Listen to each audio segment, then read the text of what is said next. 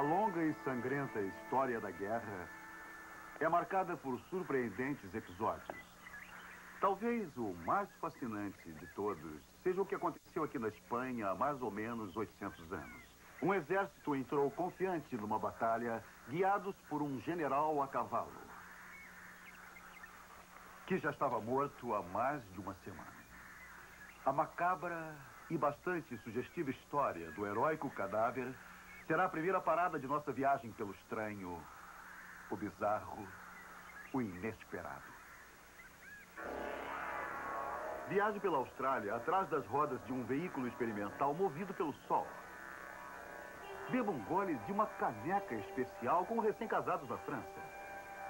Teste suas técnicas de sobrevivência com voluntários que viveram um ano como seus remotos ancestrais. Vá a uma festa que dura um mês na Irlanda com caça-maridos e solteirões em busca de companheiras. Erga uma enorme hélice numa ilha da Nova Inglaterra para aproveitar a força do vento. Enfrente temperaturas abaixo de zero para caçar com os esquimóis o seu alimento. Faça uma descida vertiginosa pelo nariz de granito de Abraham Lincoln. Participe de um ritual de banho na Índia para celebrar a repetição dos votos de um casamento.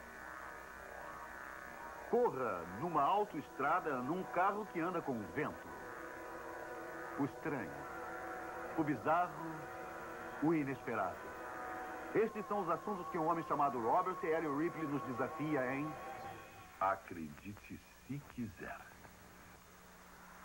A zona rural espanhola é hoje pacífica. Mas na Idade Média, praticamente toda a Espanha era um campo de batalha. Leis cristãs e muçulmanas dividiram a terra em dezenas de pequenos reinados que lutavam continuamente para aumentar os seus domínios. A guerra era constante, amarga e sangrenta. Saindo do tumulto de combates corpo a corpo, um novo líder apareceu. Seu nome e sua memória são ainda cultivados.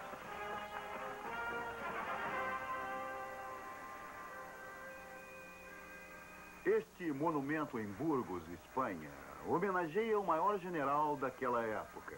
Homem tão bem sucedido e respeitado, ele rapidamente ficou conhecido como Lord Campeão. El Cid Campeador. El Cid. Ele nasceu aqui e seu corpo descansa agora na Catedral de Burgos, ao lado da esposa, no lugar de maior honra em frente ao altar. Acreditar em El Cid, confiar em sua liderança e palavra, poderia fazer milagres. Este baú celebra essa crença. Certa vez, precisando desesperadamente de dinheiro para manter o exército em campo, ele mandou aquele baú para os seus fiadores. Assegurou-lhes que ele continha tudo o que era necessário a um empréstimo. Em troca, mandaram-lhe, sem perguntas, uma pequena fortuna. Em tempo, Elcide foi capaz de pagar a dívida. O baú foi devolvido. Seu conteúdo intacto. Nada mais era que 100% de pura areia. Como nesta réplica. A palavra de Elcide foi o bastante para salvar o dia. Conforme a reputação de Elcide crescia, suas tropas acreditavam ser ele invencível. Retratado aqui por Charlton Heston, ele foi um general que nunca perdeu uma grande batalha. Para essa campanha final, ele fez os mais estranhos arranjos. No ano 1099, Elcide chamou sua esposa e os seus conselheiros mais próximos e fez uma declaração estarrecedora. Embora gozasse de boa saúde, disse que logo morreria e que pouco tempo depois um grande exército inimigo apareceria nos portões da cidade. Mas o povo não deveria temer, pois a morte não os privaria de seu líder. Ele mandou buscar raros condimentos colocou-os numa taça de ouro, misturados com água de rosas. Isso não era um remédio. mas uma poção para conservar o seu corpo após a morte. Seguindo as suas instruções, a sua morte foi mantida em segredo de todos, menos de sua esposa e auxiliares diretos. O segredo era essencial para o sucesso de seu plano. Logo, o inimigo iniciou um ataque à cidade, tal como Elcide previu. Atrás das trincheiras, sem saber que seu general estava morto, as tropas de Elcide esperaram por ele para levá-los para a batalha.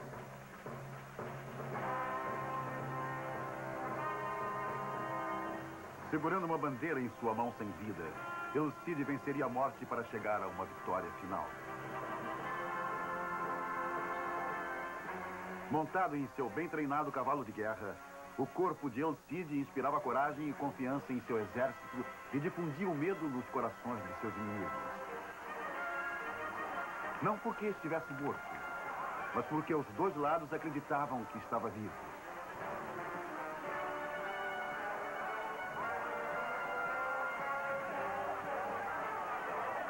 Invencível até na morte, Elcide afugentou o inimigo, levando-o até o mar.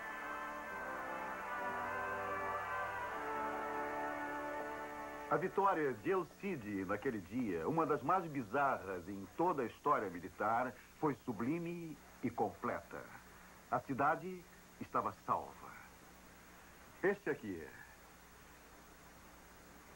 é o poderoso antebraço que Elcide ergueu na batalha.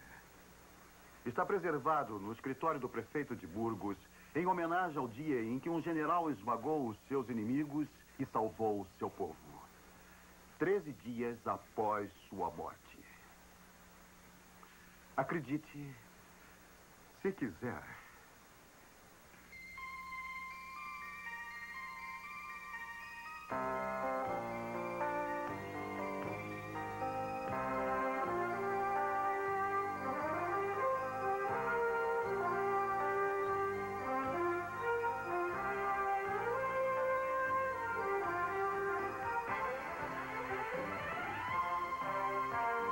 Acredite se quiser.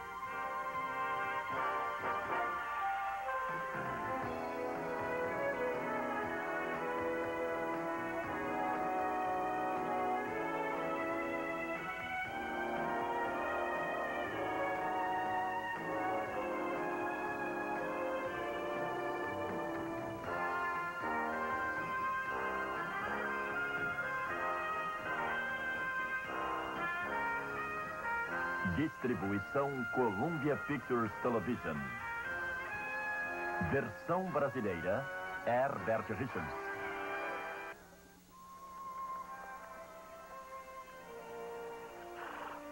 Bem aqui em Stallion Springs, Califórnia, quando tudo era desabitado, um homem tinha que aprender como cuidar de si mesmo. Às vezes com um pouco mais do que suas mãos, mas era o que bastava.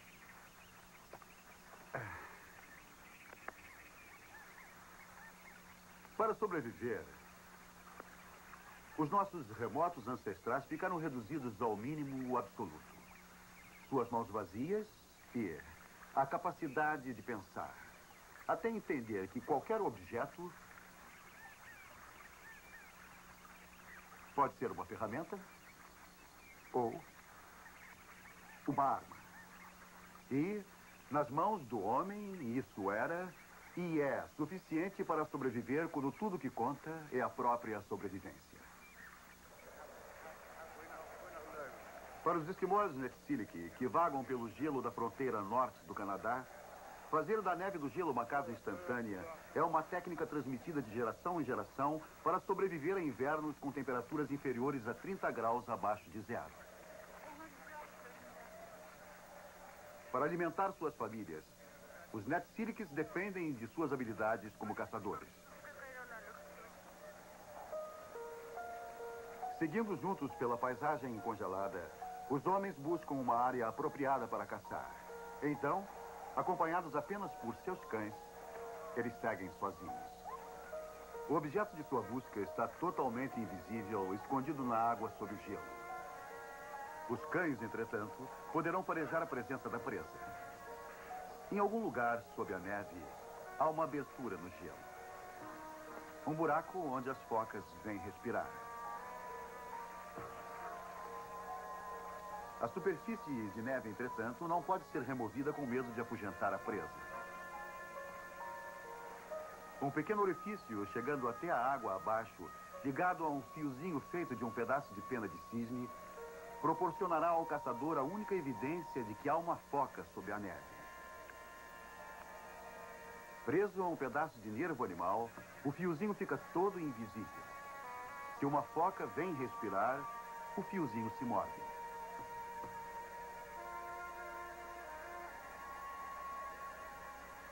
Então, o caçador arremessa a ponta farpada de sua lança em sua presa escondida.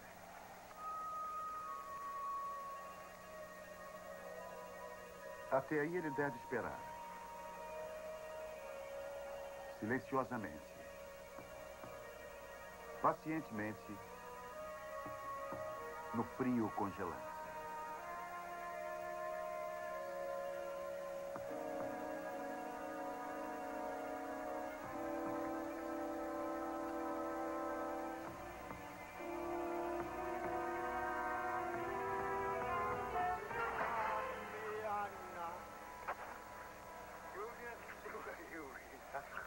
Presa é fisgada. Agora o caçador deve cavar a neve para retirar sua caça.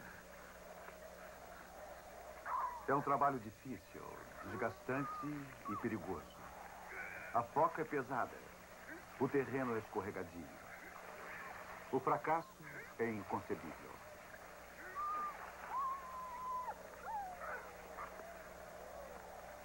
Logo, outros caçadores menos afortunados chegam para repartir o prêmio. Embora a maior parte da foca siga para o vilarejo, para os caçadores, a gordura quente e os órgãos internos são um banquete imediato.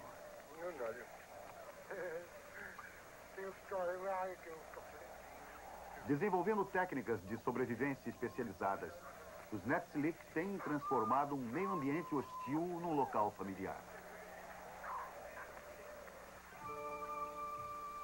Na Inglaterra, um antigo vilarejo foi criado para proporcionar um meio ambiente hostil.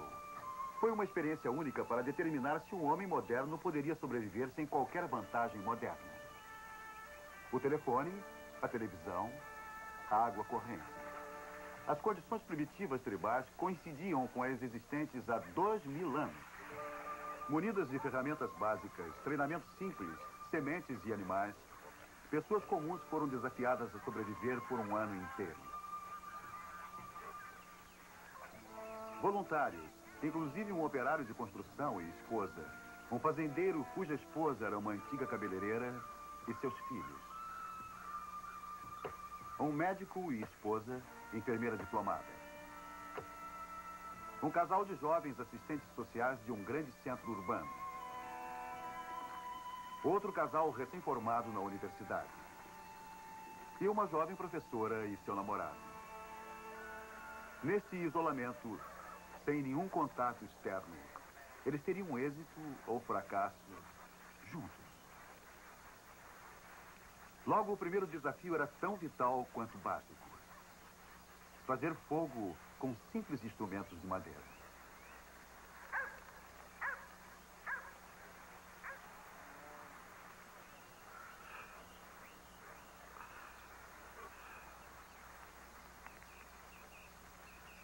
Ah, ótimo.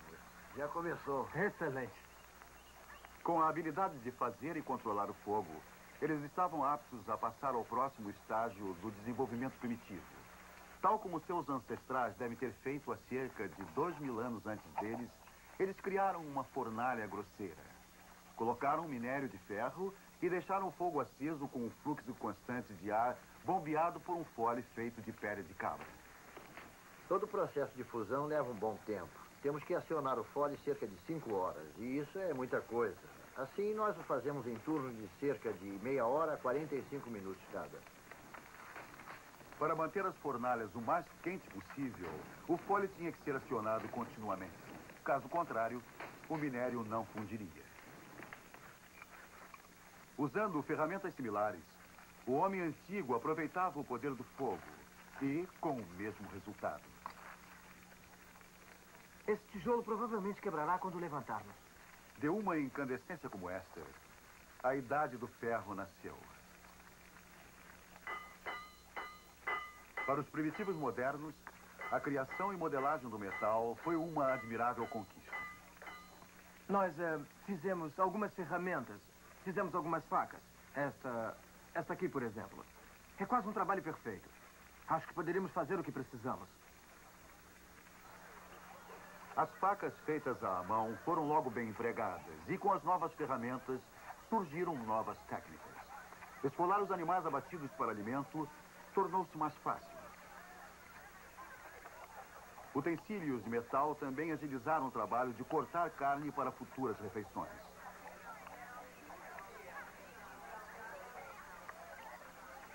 Para guardar carnes por períodos mais longos, aprenderam a usar sal como conservador.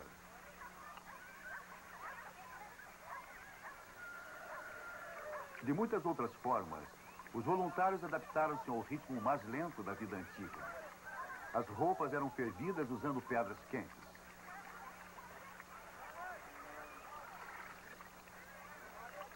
Para manter os cabelos limpos, eles usavam lama como um primitivo, mas eficaz shampoo.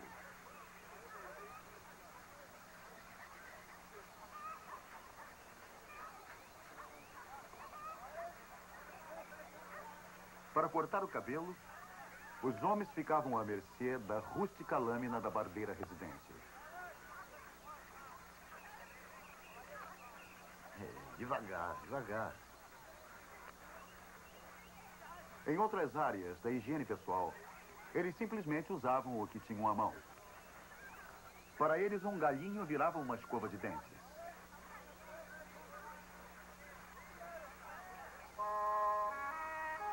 Na colheita de suas safras, eles confirmaram os ritmos antigos de seus ancestrais da Idade do Ferro. Seu trabalho era regido pela mudança das estações. A atribuição do dia era determinada pela simples necessidade de ganhar o pão de cada dia. Para transformar grãos suficientes em farinha para alimentá-los por apenas um dia, um pesado moinho de pedra tinha que ser girado à mão por mais de três horas.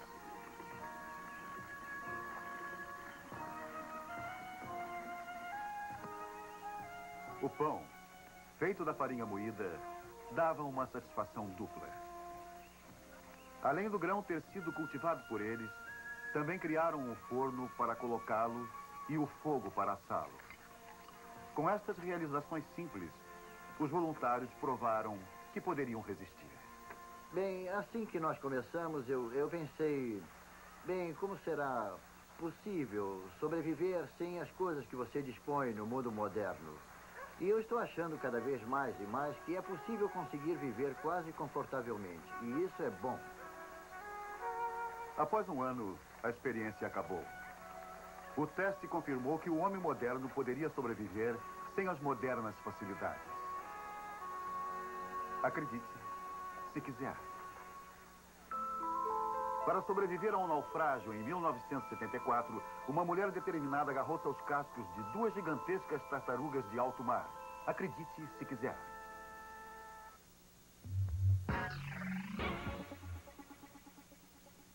Todo homem ou mulher pode ser educado para ser presidente e talvez homenageado. Aqui, como George Washington tem sido. O monumento a Washington levou 37 anos para ser feito. É a mais alta estrutura em alvenaria do mundo e mede aproximadamente 170 metros. Em 1934, o governo da época decidiu erguer um andaime em torno do monumento para fazer uma boa limpeza. Bem lá no alto, para um retoque final, havia oito hastes pontudas de platina como para-raios. Bem atraentes, bem valiosas e bem tentadoras. Assim, certa noite, enquanto o andaime ainda estava lá, um ladrão aproveitou a oportunidade. Quando amanheceu, o monumento estava sem a sua coroa de platina. Mais uma vez roubada, as autoridades decidiram que não valeria a pena recolocá-la. Nossa capital está cheia dessas surpresas. Informações que provavelmente seriam notícias até para o povo que vive aqui. Por entre os ocupantes desses impressionantes prédios do governo, por exemplo, poucos provavelmente sabem como certos fundos terminam aqui no Departamento do Tesouro. São recolhidos nas ruas pelos empregados do Departamento do Tesouro de uma forma pouco comum. Todas as manhãs, uma mala postal é recolhida contendo dinheiro voluntariamente devolvido ao governo por um senso de patriotismo, medo ou apenas o velho remorso. O Fundo da Consciência foi fundado em 1811 para aceitar uma doação anônima de 5 dólares de uma pessoa alegando ter defraudado o governo. Desde aquela época, milhões de dólares são devolvidos para o governo por várias razões. Mas na maioria das vezes, é apenas um caso de consciência pesada. Por exemplo, esta tarde eu achei essa moeda anexa na calçada. Sou incapaz de precisar de quem ela é. Ou, por favor, aceite esse dinheiro anexo por dois selos postais que reaproveitei. Ou, este cheque de 3.100 dólares é para fazer restituição de ferramentas, dias de folgas e outras coisas que roubei enquanto estava na Marinha de 62 a 67. Por favor, aceite esse cheque de mil dólares para que minha consciência nunca mais me persiga. Talvez a mais notável de todas as contribuições seja uma soma de 139 mil dólares, enviada anonimamente. Olhando através da folhagem opulenta que protege as casas históricas do subúrbio de Washington dos olhos curiosos, encontraremos outras igualmente inéditas surpresas. Esta casa que já foi o lar do presidente James Monroe. Como muitos presidentes anteriores, ele adorava ter um lugar no campo para descansar e para pensar nos problemas do governo. Nesta sala, ele desenvolveu a doutrina Monroe. Mas quando o presidente Monroe estava supervisionando a construção desta casa, ele não sabia de uma coisa que colocaria a política em sua própria perspectiva.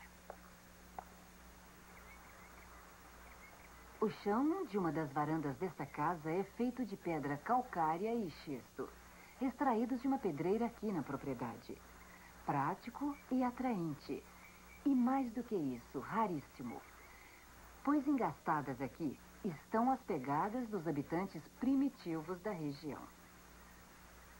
Aqui são marcas de dinossauros. Pegadas como estas são muito raras. São encontradas em apenas outro lugar a leste do Mississippi.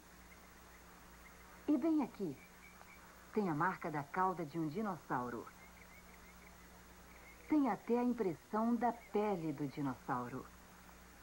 Está tudo aqui há mais de 200 milhões de anos, quando Washington era um pântano. Talvez o presidente Monroe tenha refletido que os verdadeiros revolucionários e agitadores de Washington já tiveram pé grande, cérebro pequeno e uma tendência para ficar na lama. Ocupando o plano mais alto no centro de Washington, o Capitólio é um traço tão familiar que muitos ignoram alguns de seus mais fascinantes tesouros. Você pode, enquanto passeia pela rotunda do Capitólio, dar a uma escultura que existe lá apenas uma rápida olhada e sair. Mas é melhor perder só um pouco do seu tempo. A criação é de Goodson Borglum. Ela foi deixada para a nação em 1908. Borglum, filho de pioneiros dinamarqueses, nasceu em Idaho e era obcecado em criar esculturas maciças das principais figuras da história americana. Ele passou meses estudando fotografias de Lincoln, lendo suas cartas e discursos, antes de tentar esculpir sua imagem em seis toneladas de mármore. Ele chegou à conclusão que o rosto de Lincoln tinha um lado alegre, o direito, e um lado triste, o esquerdo. E isto foi o que ele tentou captar com sutis marteladas. Existe outro fato peculiar sobre esta escultura. Abraham Lincoln tem uma orelha do lado direito. E nenhuma no esquerdo. Borglum achou que a imagem incompleta simbolizava a vida inacabada do presidente assassinado. Há uma outra escultura de Lincoln sem a orelha esquerda, também criada por Borglum, mas para competir com as obras dos antigos egípcios. Este é o Monte Rushmore. Já foi um pico comum nas negras montanhas de Dakota do Sul. Começando em 1927 e continuando por 14 anos, o escultor Gutzon Borglum trabalhou para criar esta obra de arte. Agora, mais de 40 anos após o seu término, é preservada e protegida pelo Serviço Nacional de Parques. Homens da conservação regularmente fazem passeios de inspeção para localizar e consertar rachaduras causadas pela ação do tempo. Todos os anos, eles descem os íngremes semblantes de Lincoln, Washington, Jefferson e Teddy Roosevelt. É um passeio seguro, mas atordoante. Cada rosto recebe um exame completo. Todas as rachaduras devem ser consertadas ou a água poderia entrar. E pela expansão natural e contração, eventualmente destruir o que o artista criou.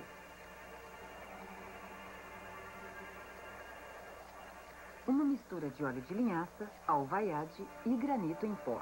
É a mesma pasta usada pelo artista.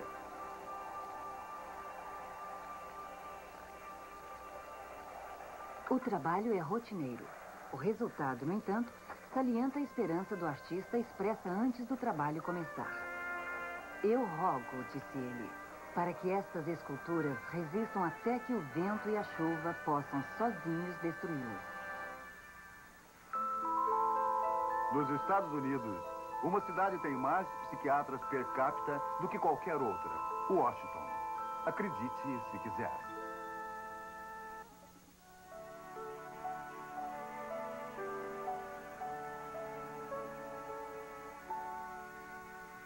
Existe uma canção popular muito conhecida chamada O que eu fiz por amor. E sem dúvida, enquanto sob a influência de uma das mais intoxicantes forças da Terra, nós podemos fazer quase tudo. Desde enviar flores e bombons até construir o Taj Mahal. Mas estes gestos extravagantes do coração parecem insignificantes quando comparados à devoção de um noivo que verdadeiramente deu de si mesmo.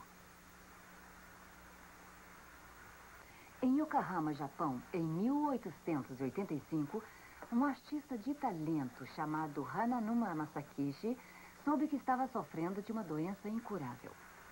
Sabendo que ele jamais poderia se casar com a mulher que amava, ele criou esta imagem surpreendente para que ela tivesse uma coisa para se lembrar. A estátua é composta de dois mil pedaços separados de madeira, habilidosamente reunidos sem o uso de um único prego. Ele criou esta incrível obra usando espelhos ajustáveis para se ver em todos os ângulos possíveis. A tarefa não era apenas um ato de sublime adoração, mas também uma provação dolorosa, pois o cabelo era o do próprio Masakishi, tirado de seu corpo fio por fio e implantados meticulosamente em minúsculos buracos. Conta-se até que ele arrancou suas próprias unhas da mão e do pé, e dentes para completar a escultura. Estava Masakishi totalmente louco para criar este presente para a mulher que adorava, ou apenas sem esperanças no amor? Considerando nossos atos para conseguir os objetos de nossa afeição, às vezes fica difícil dizer a diferença. Na Irlanda rural, o que certas pessoas fazem por amor é participar do Festival dos Solteirões, que a cada ano aumenta a população de Linson Warner de 500 para quase 20 mil. No mês de setembro, uma tradição casamenteira de 100 anos é revivida. As atividades sociais são realmente contínuas. Os qualificados solteiros deixam perceber que eles vieram não apenas para dançar, mas para encontrar a cara metade.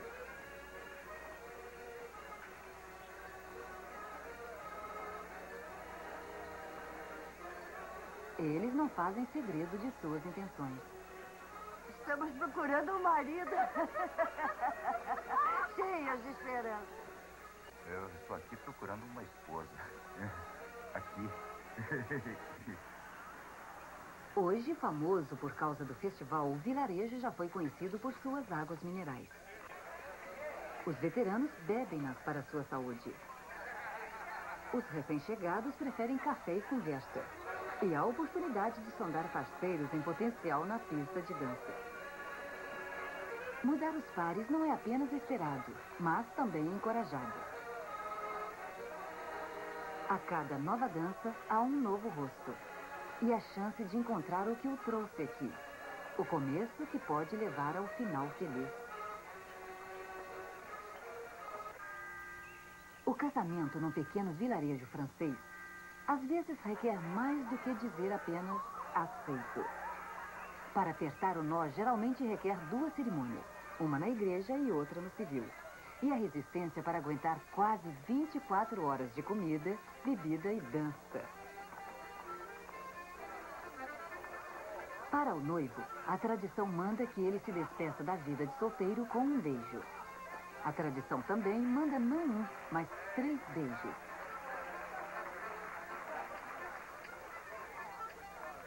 Um costume parecido diz respeito à noiva. Ela, no entanto, tem dificuldade em manter o limite em três.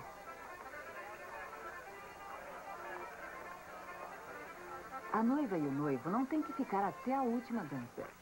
Ao amanhecer, no entanto, eles têm que se submeter a um último gesto de boa vontade, na forma de um selvagem despertar.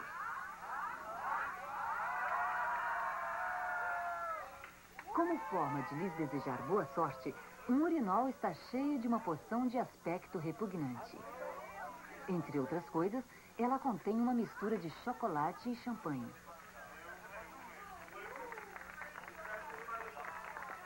Para mostrar ao mundo que estão mesmo casados, a celebração vem para o lado de fora para um final pouco cortês.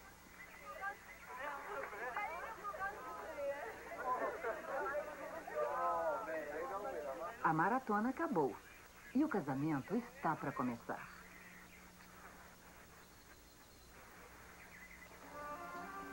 Na Índia, o casamento é um compromisso para uma relação permanente.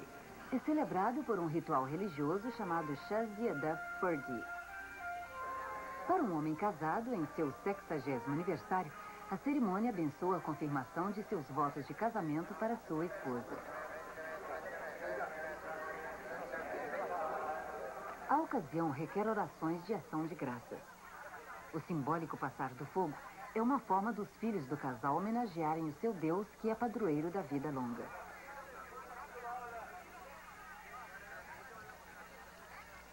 Num batismo destinado a assegurar a contínua boa saúde, a água ordinária torna-se uma poderosa poção. Existe a fervorosa crença de que a água tocada pelo ouro pode lavar as doenças do corpo. Há apenas um pequeno pedaço de ouro no vaso, mas é o suficiente para abençoar as intenções daqueles que participam do ritual.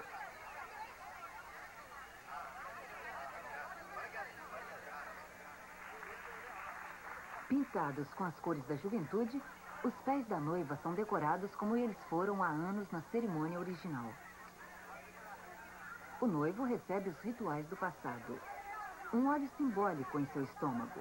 Uma marca na testa para discriminar seu status social. Em sua juventude, uma troca de grinaldas marcou seu enlace. Repetindo o gesto, eles homenageiam bem o início de seu romance, o namoro que os levou àquela primeira troca de votos.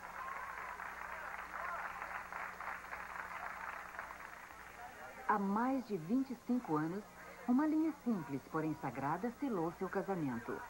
Ela ainda usa a original, presa com segurança em seu pescoço como uma lembrança singela daqueles votos da juventude. Agora será ligada a outra. Dessa vez, enfeitada com pedras e da mesma forma amarrada. O nó. É um símbolo de casamento em quase todos os países, em quase todas as culturas do mundo.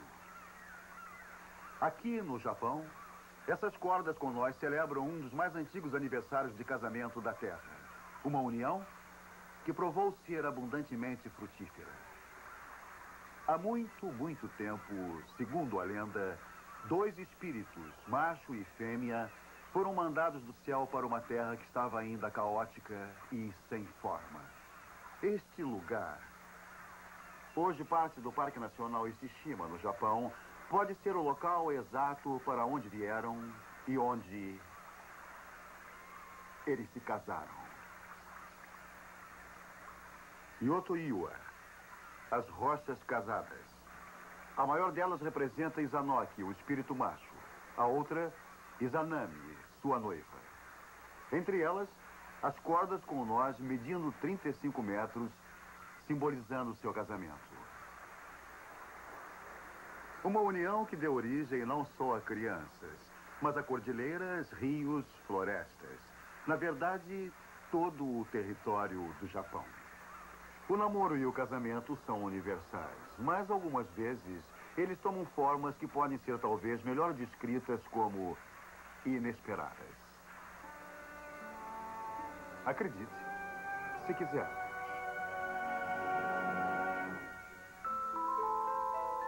Nos casamentos em Borneo, uma caveira humana certa vez fez parte da cerimônia para simbolizar que o amor sobrevivia à morte. Acredite, se quiser.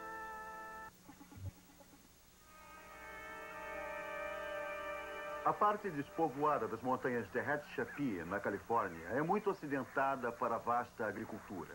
O solo é pobre, a terra rochosa, as chuvas esparsas e ainda. Este é o lado de um tipo de fazenda fora do comum. Sua colheita é invisível, mas tão preciosa que vale potencialmente milhões de dólares. Esta é uma fazenda de vento. E estas lâminas, girando, são destinadas a literalmente captar a energia do vento. Embora a tecnologia seja altamente sofisticada, o conceito é simples demais. Uma boa brisa densa desce pela montanha e gira as hélices como estas, que estão ligadas às turbinas que geram eletricidade. Vento. Uma antiga solução para um problema moderno.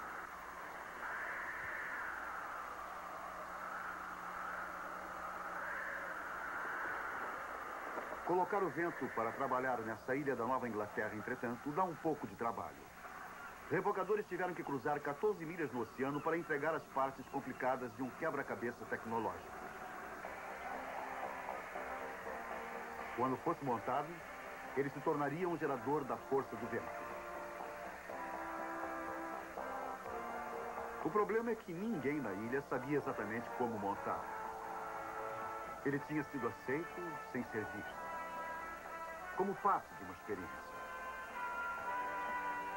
Se eles conseguissem montá-lo, os 50 moradores da ilha de Kuderhunk teriam uma fonte permanente de energia elétrica barata. O vento era grátis e também era maquinário. As gigantescas lâminas do moinho e tudo mais, exceto a instalação, eram fornecidos de graça. A turbina geradora de vento era um protótipo. E o fabricante quis fazer um teste em condições reais no campo. O desenhista veio à ilha para supervisionar os passos finais do processo de montagem. Como estão se saindo? Está muito difícil. Depois de pronto, ele seria um dos maiores moinhos do mundo. Pare! A montagem das lâminas era um processo delicado e perigoso. O que está acontecendo agora? São apenas os blocos que estão rachando. Segure! Está pronto? Funciona! Funciona! Ótimo! No final, uma equipe de três homens do local havia montado mais de 20 toneladas de maquinária no alto de uma torre de 25 metros. Eles não tinham experiência anterior em instalar geradores de vento, mas estavam determinados a resolver o problema. E o fizeram. A força do vento é uma velha ideia, mas hoje ela conduz novas maquinárias. Este raro veículo pode fazer mais de 90 km por hora. É impulsionado pelo vento. O arco em cima é uma vela. Foi fabricado aqui em Ann Arbor, Michigan, por James L. Abbott. Como engenheiro aeronáutico, eu, eu quis aplicar o que sabemos sobre aeronáutica. Neste veículo de autoestrada, essencialmente é um carro elétrico, mas também tem esta grande vela permitindo que o vento empurre em condições favoráveis. Conforme vai navegando, um gerador recarrega as baterias que movem o veículo quando o vento cessa. Uma calmaria no vento, entretanto, não é problema na Austrália.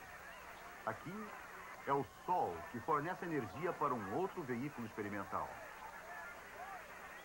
Para provar a praticidade da energia solar, um grupo de aventureiros e engenheiros australianos desenhou um veículo super leve, tampou com um painel de 720 células coletoras de sol e partiu para atravessar o continente australiano. Para os motoristas, seria um longo e acidentado passeio. Seguidos por mecânicos e veículos de apoio, eles tinham quase 5 mil quilômetros de viagem.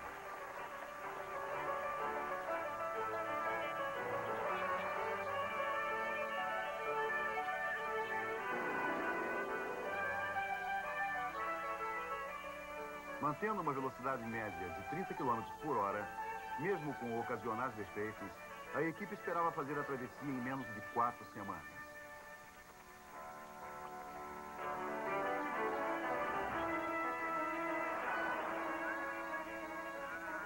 Exceto por obstáculos naturais, o veículo sofreu poucos atrasos.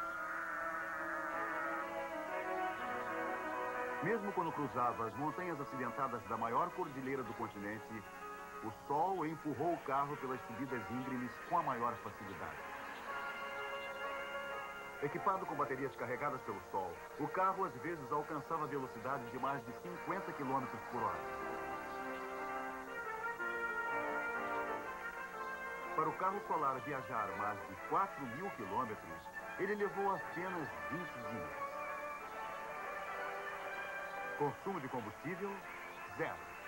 E ainda havia bastante luz de sol.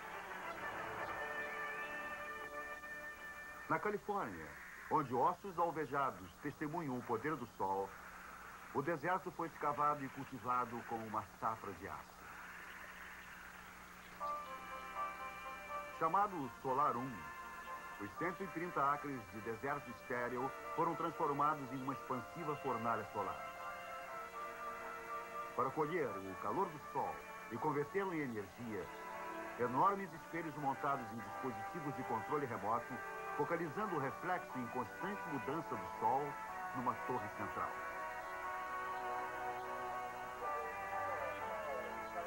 O calor resultante da torre é intenso. É o ponto central num círculo de 1818 espelhos altamente polidos. Chamados de heliostatos, os espelhos são controlados por computadores para mantê-los no alto. O calor é usado para criar vapor, que, por sua vez, move um gerador elétrico. Solar 1 gera energia suficiente para abastecer cerca de 2.500 casas.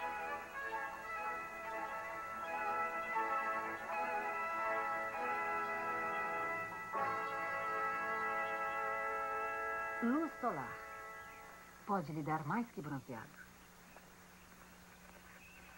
Um painel solar em miniatura como este é como ter um cabo de extensão preso ao sol, que você pode levar com você para onde você for. Os brinquedos ficam se movendo enquanto tiver luz do sol sobre eles. E os inventores estão trabalhando em várias formas de usar a energia disponível em qualquer lugar sob o sol.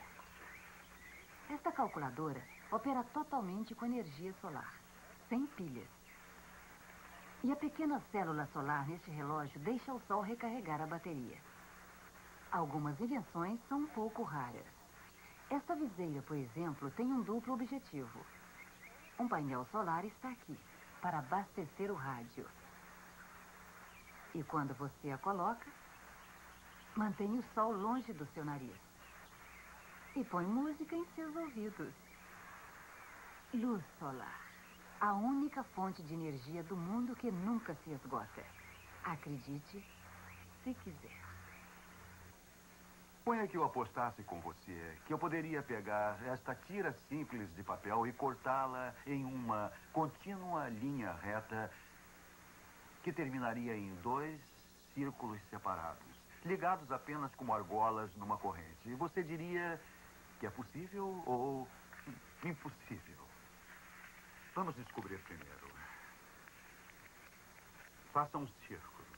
Ah, não como esse, mas como esse. Com uma meia torcida.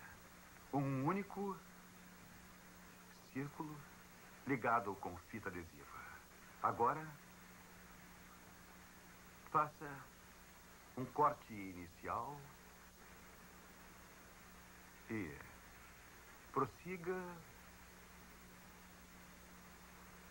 em toda a volta em um corte contínuo.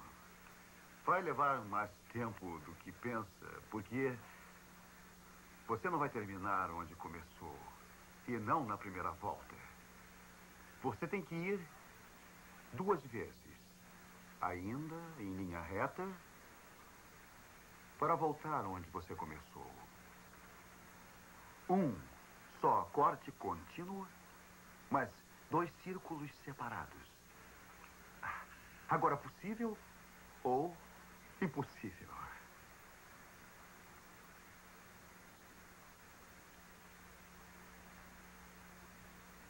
Possível. Acredite, se quiser.